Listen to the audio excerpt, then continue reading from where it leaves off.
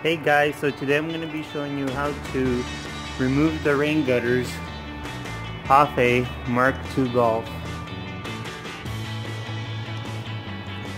So things you'll need are um, a plastic uh, removal tool, a clip removal tool, but I'd, I'd find one that's bent because um, you want to pry it this way and so you definitely want something with a bend in it. I wouldn't recommend anything with metal. I'm painting my car so I'm not too worried if the edges here get scratched. Um, but if you are, you could always put some padding here or some uh, double-sided uh, like foam tape or even single-sided foam tape. You also want uh, something long. I'd also consider plastic. Um, and this this is so you can keep the rain gutter from uh, clipping back in on itself. So first thing you want to do is loosen this whole thing up and give it a gap.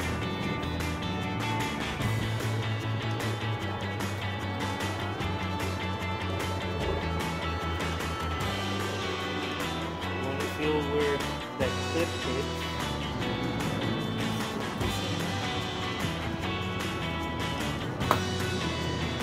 Just pop Okay,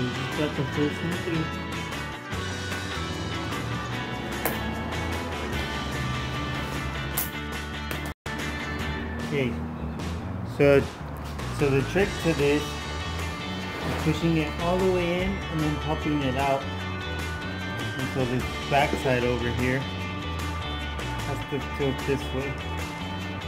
And you snap.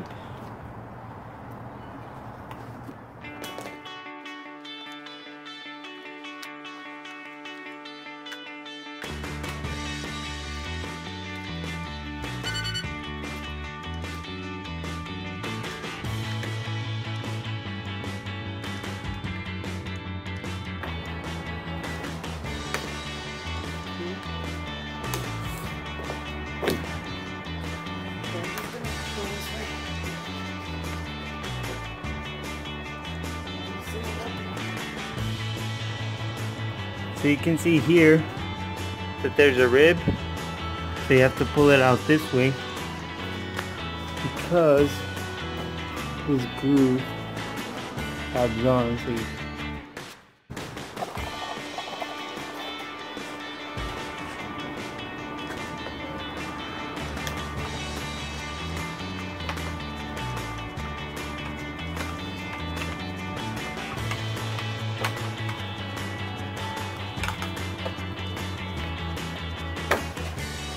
We got all the clips loose. Pull. There you go. So if you did it right, you'll still have these clips. You can see I broke this one and this one. These are still good. It looks like most of the top ones are still good. And if not, they're inside this rail right here.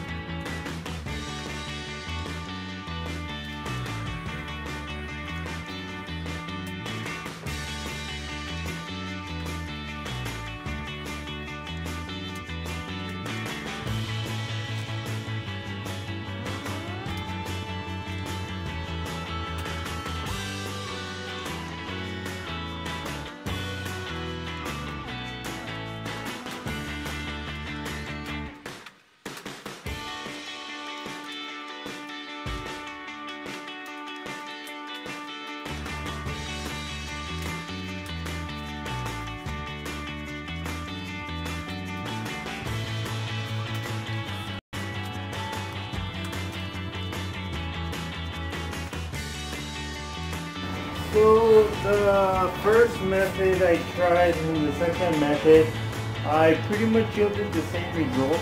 So I don't think that will be a problem uh, deciding whichever way you want to do it. Uh, I found that on this side it was easiest to pull it out It was a lot faster. On the other side for some reason it wasn't coming out this way so I put it this way. So it's really your choice whichever way you want to go. Okay, so after you're done, you should be left with a whole bunch of these. I'm just going to use a small knife and a small screwdriver. And basically what you want to do is you know, open them. And then either you can lift up like that, just to set it loose. And it should pop out. And then you shouldn't break anything. It should be good to go. And you'll reuse these or you can probably find some um, on VolkswagenHeritage.com.